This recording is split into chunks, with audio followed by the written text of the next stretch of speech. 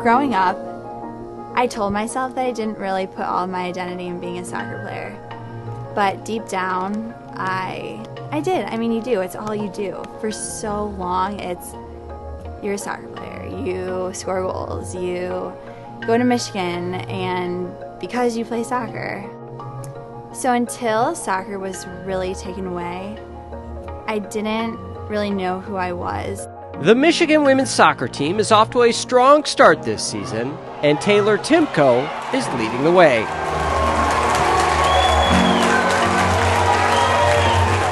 But a long road back for the redshirt junior, whose booming left leg went bust when she tore ligaments in her right knee during the spring of 2016.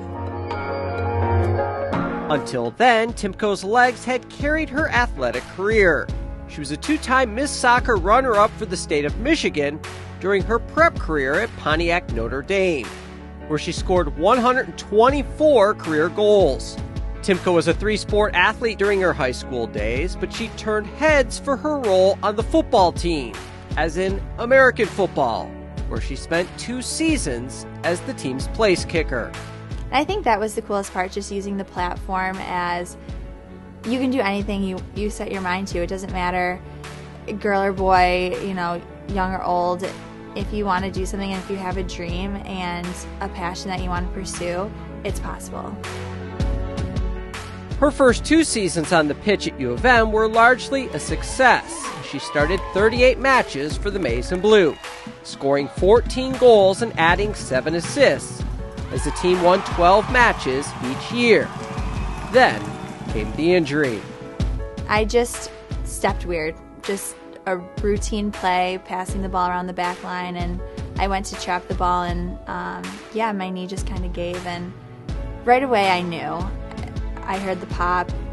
It was kind of that soccer player's worst nightmare. And I think at that moment, everything just kind of flashes. You know, you you think you're prepared for potentially having an injury, but until it actually happens and soccer is actually taken away for a little while, you don't really realize what you have till it's gone. It would mark the beginning of what the biology major refers to as a learning year. Not all of her lessons had to do with soccer and injury recovery. Timko was part of a group of students who visited Vietnam in February of this year as part of the Let's Go Do program. A true experience of a lifetime. I'm so lucky to have been chosen to go on that trip with um, the other incredible student athletes. It was definitely a culture shock. Um, I think I learned just how different um, other ways of life are and how okay that is. How just because something is different doesn't mean it's wrong and doesn't mean that um, you know what we do here in America is better than what's in Europe or Southeast Asia or anything like that. It's just it's a different experience and people live differently and and to be able to connect it was an experience that I wish I could relive over and over just because it was so so great. Throughout her whole recovery, she barely complained. Even if we saw her frustrated, she would never say anything. She that's just kind of the kind of person she is. She stays super positive. She works hard, even though she gets frustrated, she keeps going. So, rehab was just as mental as it is physical, if not more. Um, I would say the first few months were pretty hard just because I couldn't even walk to class, or I mean, for the first few weeks, you can't really walk at all. And then as you start to get able to, you know, be able to bike, walk, maybe jog a little, every single week is is kind of like a birthday, like something is new. After a 16th month layoff, Timko is back on the pitch for the Wolverines this August, and it didn't take long for her to shake off the rust.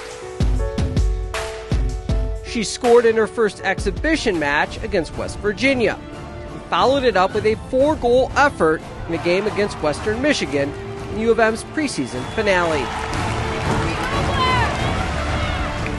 Taylor hasn't missed a beat in games that count. She found the back of the net in each of her team's first three matches. Currently leads the and Blue with eight points. So I think she's just kind of come back into a team that really fits her and, and brings out her strengths. And so it, it's, it's been a great situation.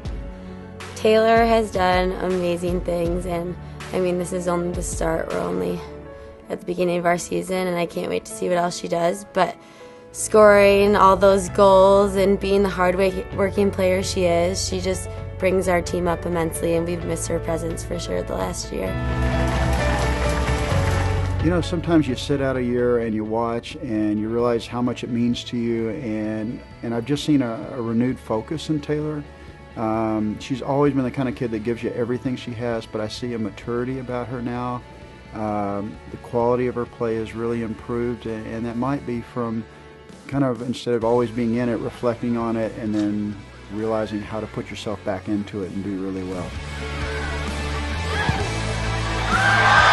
And I think the the main thing that I learned um, just by sitting out was to apply every single time I play from that time on, like it truly is the last moment I have on the field.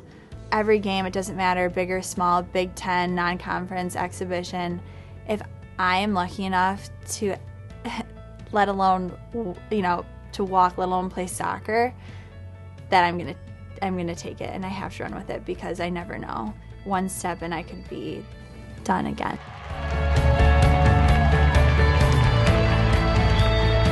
With the women's soccer team. For MGoBlue.com, I'm Anthony Polidano.